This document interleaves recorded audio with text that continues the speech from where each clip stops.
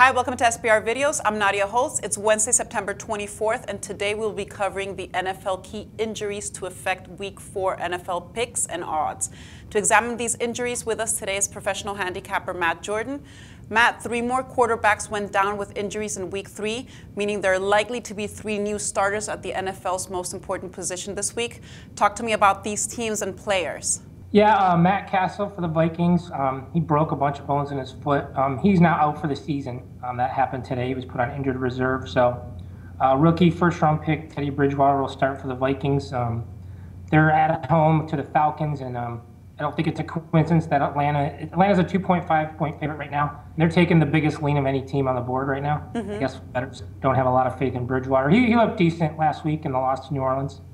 But um, the Vikings also lost their really good tight end, Kyle Rudolph. So, of course, they don't have Adrian Peterson. Right. So, yeah, I'm sure that's why people are, are jumping all over Atlanta. Um, for the Titans, Jake Locker, we still don't know if he's going to play or not. Um, he hurt his wrist. It's nothing serious, apparently, but um, frankly, I think Coach Ken Whisenhunt wants a reason to bench him. He's been pretty terrible. Um, unfortunately, his backup is Charlie Whitehurst, which I'm pretty sure I'm better than he is. So, um, Titans are they're taking the second fewest lean. They're, uh, Indianapolis is minus 7.5, and they're taking a massive, massive lean. So I expect that line to grow. Mm-hmm. And um, Josh McCown of the Buccaneers also is hoping to play this week, but he's not going to start no matter what. Okay. Um, he, hurt his, he, hurt his, thumb. Mike Glennon will start. He was actually pretty good as a rookie last year. Um, but the Bucs look lost as it is, and they're seven-point underdogs at Pittsburgh, and the Steelers have taken almost three three quarters of the action so far. So I expect that line to grow as well. Okay, um, the Philadelphia Eagles were incredibly fortunate last season when all five starting offensive linemen were able to start every game. That's pretty rare. How do you see this team doing without center Jason Kelce, without Pro Bowl left guard Evan Mathis, and right tackle Lane Johnson? Can you um, walk me through that? Yeah, um, they're going to get Johnson back not this week, but next. The other two guys are out for a while. Um, the Eagles have been, you know, they've been incredibly lucky this year. If you ask me, they've rallied from at least 10 points down in every game to win. Um, no team's ever done that um, the first three games of a season. Mm-hmm. And they're playing a really, really desperate 49ers team in San Francisco. It's never easy to play, you know, go across the country and, and win as it is, but mm-hmm. the Niners just, you know, they can't start one and three. And while their defense is a little bit, um, you know, hurting because of uh, injury and suspension, it's still it's still quite a good defense. So I think they're going to have their way with the Eagles offensive line. Uh, San Francisco opened at like minus four and a half. It's already to five and a half. I think that's going to keep growing as well, although I think it'll stay under a touchdown.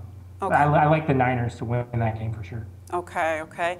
And can you walk me through the Ravens without Dennis Pitta and the Chargers without uh, uh, Danny Woodhead?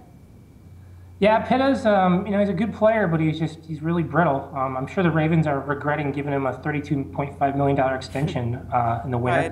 Because right. um, his career looks over. He was, he just caught a pass uh, in week three, and he just fell down. He was he wasn't even hit. But um, you just look at your hip once, it's a really it's a you know it's a big injury. If you just look it twice, you have a pretty serious problem.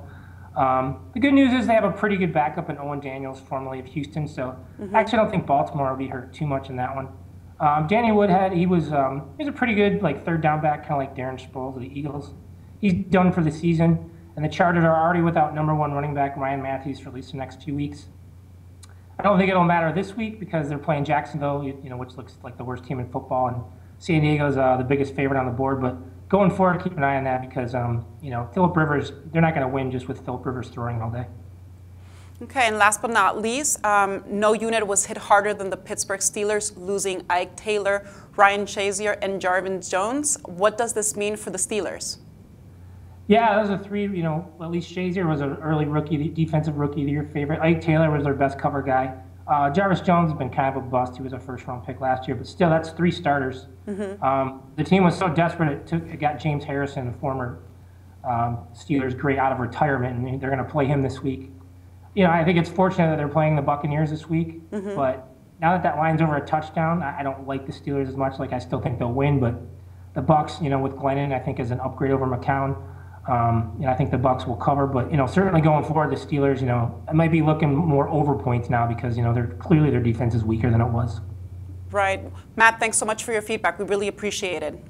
All right, you're welcome. All right, for SBR Picks, this is Nadia Holtz. The SBR network offers free sports picks and game breakdowns. big money free betting contests year round, a real-time Vegas-style odds monitoring service, and much more. So come see for yourself. To stay updated on SBR news and promotions, follow us on Twitter, Facebook, and Google+, and do be sure to subscribe to the Sportsbook Review YouTube channel to catch all our daily sports shows.